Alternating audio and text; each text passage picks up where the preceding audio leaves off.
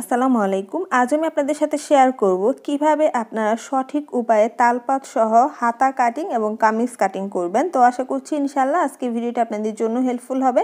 তো আপনাদের কাছে একটা রিকোয়েস্ট থাকবে, আপনারা ইনশাল্লাহ শেষ পর্যন্ত ভিডিওটি দেখবেন, তাহলে আপনারা খুব সহজভাবে ঘরে বসে কামিজ কাটিং করতে পারবেন। তো প্রথমে আমি এখানে কাপড়টাকে খুলে ভাজ করে নিচ্ছি। প্রথমে কাপড়টাকে পুরো এখানে কিন্তু খুলে নিয়েছি। এখানে কাপড়টা দুই ভাজে ভাজ করা আছে।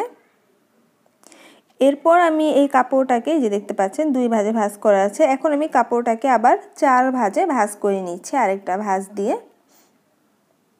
তো কাপড়টা আমি ভাজসহ আপনাদের সাথে শেয়ার করছি। উপরে হচ্ছে দুই ভাজ আর নিচে হলো দুই ভাজ টোটাল চার ভাজ।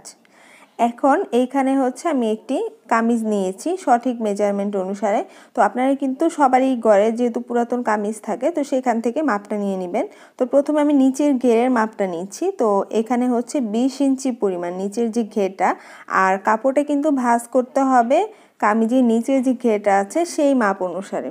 তো এখানে হচ্ছে আমি এক ইঞ্চি পরিমাণ বাড়িয়ে নিয়েছি, অর্থাৎ ছিল হলো এখানে বিশ ইঞ্চি তারও দুই বাস করলে দশ ইঞ্চি, তো এক ইঞ্চি বাড়িয়ে এগারো ইঞ্চি নিয়েছি। এরপর লম্বা মাপটা দিতে হবে। কাত থেকে নিচ পর্যন্ত লম্বা মাপটা নিয়ে নিচ্ছি। লম্বা কিন্তু আপনাদের নিজেদের পছন্দ অনুযায়ী দিয়ে নেবেন। তো এখানে লম্বাটা আমি উনচল্লিশ ইঞ্চি নিয়েছি। তো উনচল্লিশ ইঞ্চিতে একটা দাগ দিয়ে নিয়েছি। আর যেহেতু সেলাই যাবে উপরে এবং নিচে সেই জন্য আরও দুই ইঞ্চি এক্সট্রা নিয়েছি। তাহলে এখানে হলো একচল্লিশ ইঞ্চি। একইভাবে আমি এই পাশেও একচল্লিশ ইঞ্চিতে একটা দাগ দিয়ে নিচ্ছি। এরপর আমি দাগটাকে সোজা করে মিলিয়ে নিচ্ছি। এখন আমি যে মাপটা দিব সেটা হলো কাঁধের মাপটা। কাঁধের মাপটা আপনারা কীভাবে বের করবেন সেটা একটু ভালোভাবে খেয়াল করে বুঝতে পারবেন। তো এইভাবে জামাটাকে সুন্দরভাবে ভাজ করে নেবেন। আর আরেকটা বিষয় হচ্ছে মাপটা অবশ্যই পেছন থেকে নিতে হবে। এরপর এখানে যে দেখতে পাচ্ছেন একটা কাঁধ থেকে আরেকটা কাঁধ পর্যন্ত, কাঁধের শেষ পর্যন্ত মাপটা নেবেন। তো এখানে মাপ এসেছে ১৩ ইঞ্চি পরিমাণ। আপনাদের যা মাপ আসবে সেই অনুসারে নেবেন। তাহলে ১৩ ইঞ্চিকে যখন আমি দুই ভাঁজ করব, তখন এখানে হবে সাড়ে ছয় ইঞ্চি। তো সাড়ে ছয় ইঞ্চিতে আমি একটি দাগ দিয়ে নিলাম। এরপর আমি গলা চওড়াটা নিচ্ছি আড়াই ইঞ্চি পরিমাণ। যেহেতু এটা সাইজ হচ্ছে বত্রিশ থেকে তেত্রিশ সাইজে আমি এই কামিজটা কাটবো। তো সেই জন্য গলা চওড়া আড়াই ইঞ্চি পরিমাণ নিয়েছি। এরপর কাদের শেষ থেকে হচ্ছে লম্বা মাপটা নিচ্ছি আর্মহোলের জন্য সাড়ে ছয় ইঞ্চি নিয়েছি। কাজ যেহেতু সাড়ে ছয় ইঞ্চি, এখানেও সাড়ে ছয় ইঞ্চি নিয়েছি। কাজ যা হবে এখানে তাই নিতে হবে। এরপর উপর থেকে, নিচ থেকে হচ্ছে দুই থেকে আড়াই ইঞ্চি উপরে একটা দাগ দিবেন, নিচের অংশটা থেকে আর্ম হোলের আড়াই ইঞ্চি দাগ দিয়ে এরপর বগলের জন্য এভাবে করে রাউন্ড শেপ করে নিতে হবে। তো আপনারা একটু কিন্তু ভালোভাবে যদি খেয়াল করেন, তাহলে খুব সহজভাবে কামিজটা কাটিং করতে পারবেন। এরপর যেখানে আমি আড়াই ইঞ্চিতে দাগ দিয়ে নিয়েছি, সেখান থেকে হচ্ছে ভেতর দিকে এখন পনে এক ইঞ্চি পরিমাণ একটা দাগ দিয়ে নিচ্ছি এটা তালপাত কাটার জন্য। পনে এক ইঞ্চি পরিমাণ দাগ দিয়ে এভাবে রাউন্ড শেপ করে নিচ্ছি। তো এখানে হচ্ছে বডি সাইজ অনুসারে আমি লম্বা ছয় ইঞ্চি নিচ্ছি। বডি যেহেতু এখানে বত্রিশ থেকে তেত্রিশ, সেজন্য আমি গলা লম্বাটা ছয় ইঞ্চি পরিমাণ নিয়ে নিয়েছি। আর গলা চওড়াটা নিচেও আড়াই ইঞ্চি করে দাগ দিয়ে নিয়েছি। আপনারা কিন্তু গলা লম্বাটা আপনাদের পছন্দ মতো দিয়ে দিবেন। কারণ অনেকেই দেখা যায় যে বডি সাইজ কম হলেও একটু গলাটা লম্বা পড়তে পছন্দ করে। সেক্ষেত্রে আপনারা পছন্দ অনুযায়ী দিবেন। আর পেছনের গলার জন্য আমি লম্বা চার ইঞ্চি করে দাগ দিয়ে নিচ্ছি। এবং ভেতর দিকেও আমি আড়াই ইঞ্চি দাগ দিয়ে নিয়েছি। আর গোল গলাটা করার জন্য এই যে কোনা থেকে হাফ ইঞ্চি পরিমাণ একটু দাগ দিয়ে এরপর গোল গলার শেপটা করে নিতে পারেন। এতে করে গলার শেপটা সুন্দর হয়। এখন আমি কাঁধ থেকে হিপ পর্যন্ত যে ফাড়াটা হয় সেই পর্যন্ত একটা মাপ নিয়ে নিচ্ছি। তো এইভাবে করে আপনারা মাপটা নেবেন কাদের সেলাই থেকে। তো এখানে বিশ ইঞ্চি এসেছে। আপনাদের যতটুকু আসবে সেই অনুসারে মাপটা নিয়ে নেবেন। একইভাবে আমি দুই পাশে বিশ ইঞ্চি পরিমাণ একটা দাগ দিয়ে নিচ্ছি। এরপর মাঝখানে যে পেটের মাপটা বা কোমরের মাপটা কীভাবে বের করবেন সেটা দেখাচ্ছে। আপনারা কামিজে সেলাইটা খেয়াল করবেন যে পেটের দিকটাকে একটু রাউন্ড হয়। তো সেই রাউন্ড থেকে আপনারা মাপটা নেবেন। তো এই যে কাত থেকে রাউন্ড পর্যন্ত আপনারা একটু এভাবে করে ফিতাটা সোজা করে ধরলেই বুঝতে পারবেন যে কতটুকু মাপ আসে। এখানে বারো ইঞ্চি এসেছে, তো বারো ইঞ্চির সাথে আমি সেলাই সহ আরও এক ইঞ্চি যোগ করব, তাহলে ১৩ ইঞ্চি। উপর থেকে ১৩ ইঞ্চি পরিমাণ একটা দাগ দিয়ে নিচ্ছি। একইভাবে দুই পাশে আমি ১৩ ইঞ্চি পরিমাণ দাগ দিয়ে নিচ্ছি। এটা মাঝখানে যে পেটের মাপটা হবে সেই মাপের জন্য। তো আমি সোজা করে দাগগুলোকে মিলিয়ে নিচ্ছি। এরপর আমি এখন বুকের যে মাপটা আছে সেই মাপটা নিব। এখানে সেলাইটা খেয়াল করবেন, একটা সেলাই থেকে অপর যে সেলাইটা আছে সে পর্যন্ত আপনার মাপটা নিয়ে নেবেন।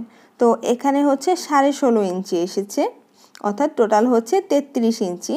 তাহলে সাড়ে ষোলো ইঞ্চিকে আপনারা কীভাবে বের করবেন? এই যেভাবে করে ইঞ্চি টেপটা মাঝখানে ধরবেন। সাড়ে ষোলো ইঞ্চি, তাহলে যা মাপ আসবে সেই মাপটা আপনারা এখানে নিয়ে নিতে পারবেন। তো এখানে হচ্ছে আট ইঞ্চি থেকে দুই সুতা পরিমাণ বেশি এসেছে। তো এখানে মাপ অনুসারে দিয়ে নিচ্ছি, তবে আপনাদের কাপড়টা ধোয়া না থাকলে সেক্ষেত্রে আরেকটু বাড়িয়ে দাগ দিয়ে নিতে পারেন।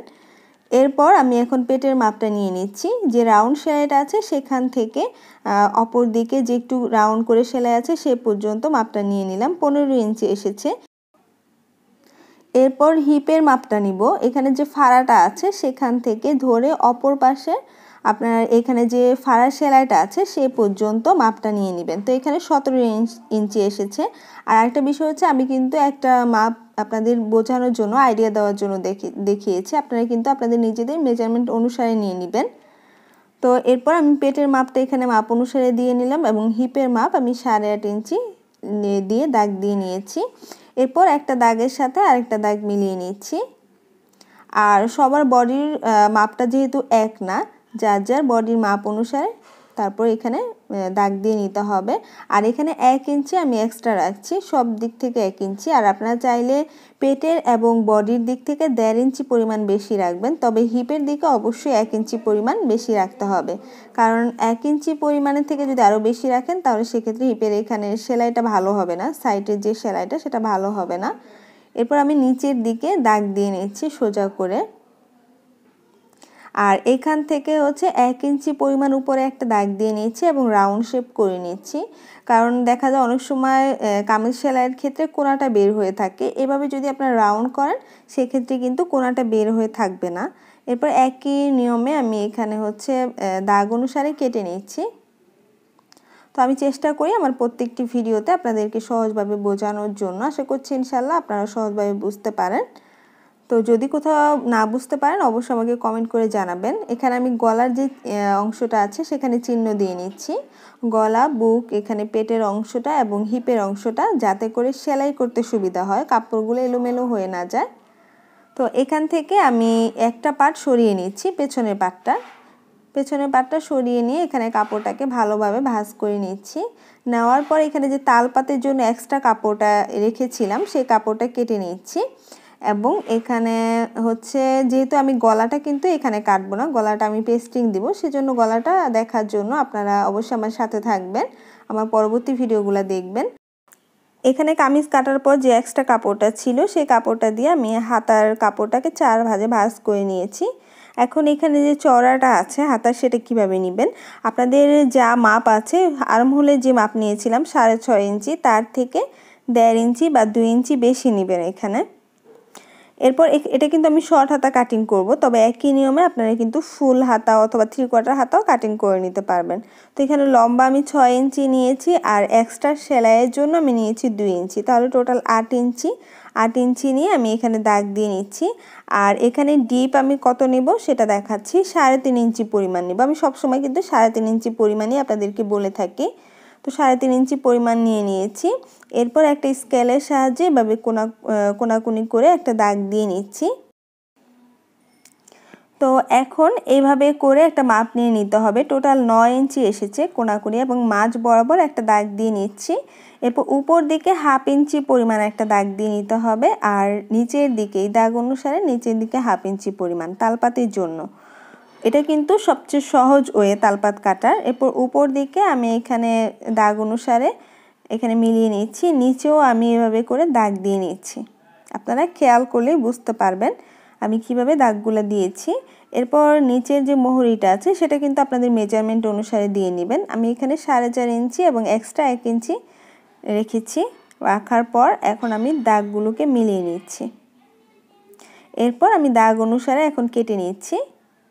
তো প্রথমে এখানে আমি প্রথম উপর দিকে যে দাগটা দিয়েছিলাম সেই দাগ অনুসারে কেটে নিচ্ছি।